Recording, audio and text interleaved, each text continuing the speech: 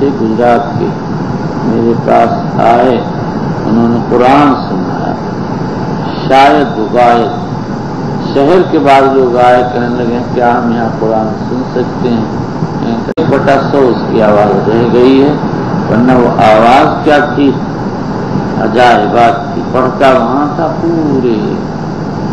गुजरे में पूरी फिदा पुरुष की आवाज़ छा जाती। और तकल्लु भी नहीं, यानी पढ़ने में मुझे उलझन नहीं होती।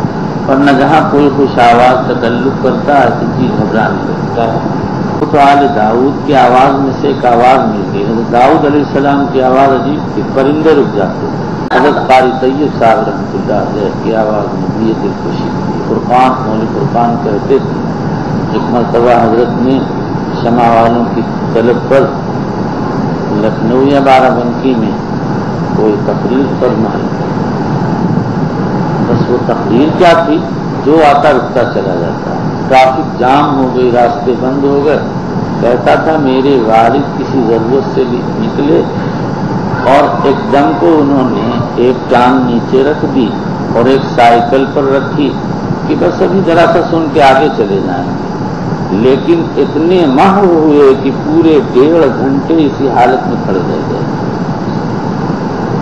ये था कारी साहब का